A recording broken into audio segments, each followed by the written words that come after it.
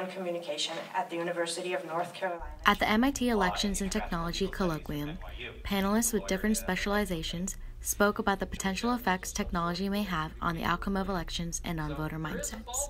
The same message that might be coming to me through a sponsored tweet is being reinforced at my door, is being reinforced in my mailbox through direct mail, is being reinforced through a canvasser that's knocking on my doorstep, etc. Right? And a big part of this is that in a technology intensive era, attention is in really short supply.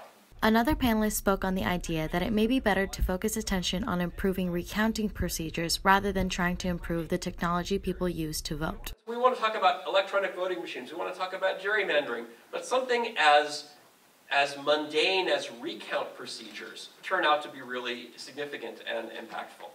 Panelist Alex Ray Sorokin believes that despite its drawbacks, technology has the ability to give people a greater say in their government. I come from a very politically contested country, and so I think for me, an important thing for technologies to do is give voice to people who don't usually get a say in what is happening in the public sphere.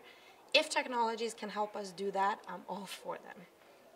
So we're outside the MIT Elections and Technology Colloquium, where multidisciplinary experts spoke, hoping to better inform voters on technology's impact on the upcoming midterm elections coming this Tuesday.